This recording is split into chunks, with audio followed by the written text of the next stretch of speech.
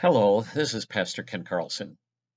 When Jesus was arrested in the Garden of Gethsemane, all of his disciples fled, even Peter, who had been ready to take up a sword to defend Jesus. Later on, Peter and John both followed Jesus to the mock trial at the court of Caiaphas the high priest, where John was known to the high priest. But it was Peter who denied any association with Jesus and then left in guilt and shame. Along with all his acquaintances, Many women who had followed Jesus during his ministry now followed him to the crucifixion and watched, but from a distance. Three women were bold enough to be near Jesus as he died. Only one man joined them, Jesus' best friend, John. John later recorded what happened. Standing near the cross were, were Jesus' mother and his mother's sister, Mary, the wife of Clopas, and Mary Magdalene. When Jesus saw his mother standing there beside the disciple he loved, he said to her, Dear woman, here is your son.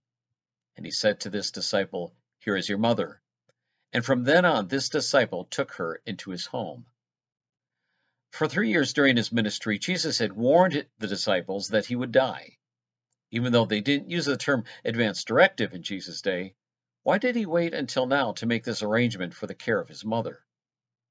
Despite Jesus trying to prepare his followers for his inevitable providential death, they couldn't seem to comprehend it. Even his mother, who had been warned that a sword will pierce even your own soul, could not have imagined seeing her son naked at birth, naked at death, dying on a cross.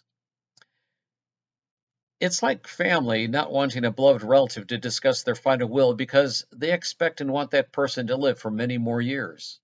But when the person is actually dying, then they are ready to listen.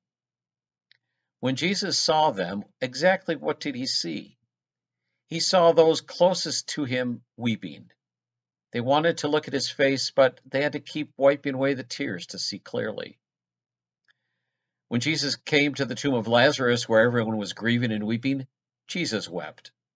So certainly he spoke with compassion to his mother and his best friend. It wasn't merely for the utility of taking care of his bereaved mother, those closest to a loved one who dies are the best to, able to comfort each other. Mary and John could comfort each other at the foot of the cross in a way that mere acquaintances would never understand. Lord Jesus, we groan with all creation, not because you are dead, but because we long for you to return to earth. We are grateful for the comfort that we can share with each other, the promise of your return, so we will always be with you. Amen.